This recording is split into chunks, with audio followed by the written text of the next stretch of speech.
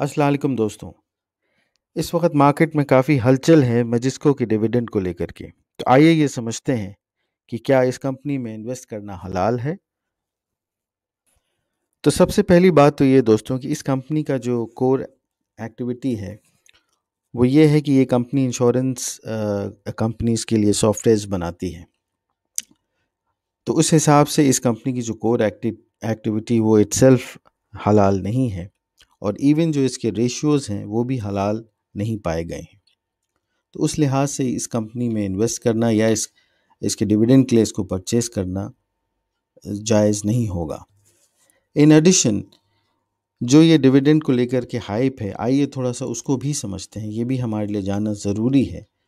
अगरचे ये कंपनी हलाल नहीं है, फिर भी फ्रॉम प्योरली इन्वेस्टमेंट पर्सपेक्टिव इसको समझते हैं। जैसा कि आप समझते हैं कि जब कोई कंपनी डिविडेंड डिक्लेयर करती है तो डिविडेंड डेट के बाद उस कंपनी का दाम या उस कंपनी का शेयर प्राइस उतने ही अमाउंट से घट जाता है। तो इस केस में इस कंपनी ने नौ सौ चौहत्तर का डिविडेंड डिक्लेयर किया है और करंटली ये कंपनी 982 पे ट्रेड कर रही है।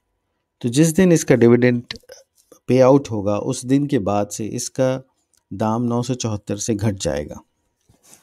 और यही नहीं, क्योंकि ये कंपनी अब डीलिस्ट होने वाली है तो इसकी जो रेजिडुअल वैल्यू होगी, जो बचे हुए शेयर, शेयर्स की, उसके बारे में भी कुछ ज़्यादा कहा नहीं जा सकता।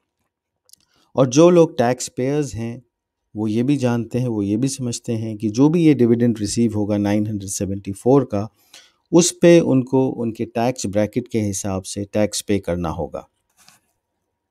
तो फ़र्ज़ करें, अगर कोई 30 परसेंट टैक्स ब्रैकेट में है तो उसको इस 974 पे 30 परसेंट टैक्स पे करना होगा। तो मतलब ये हुआ कि जो डिविडेंड बड़ा अट्रैक्टिव लग रहा है 974 पे, एक्चुअली उस पर आपको तकरीबन 600 कुछ ही मिलेंगे net of tax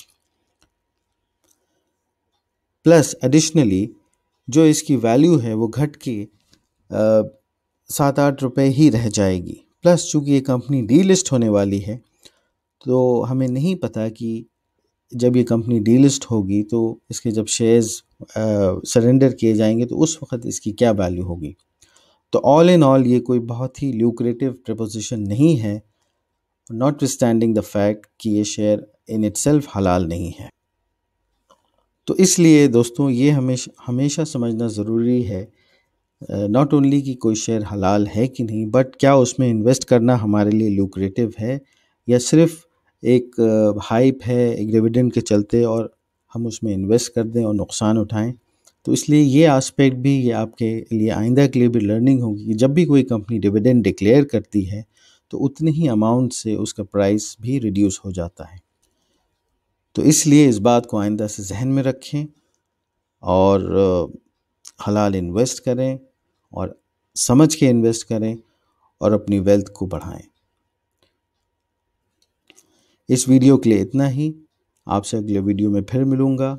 आपसे रिक्वेस्ट है कि आप हमारे चैनल को लाइक करें, सब्सक्राइब करें और अपने दोस्तों में और अपने रिश्तेदारों में शेयर करें ताकि हम इस इंफॉर्मेशन को मज़ीद लोगों तक पहुँचा सकें।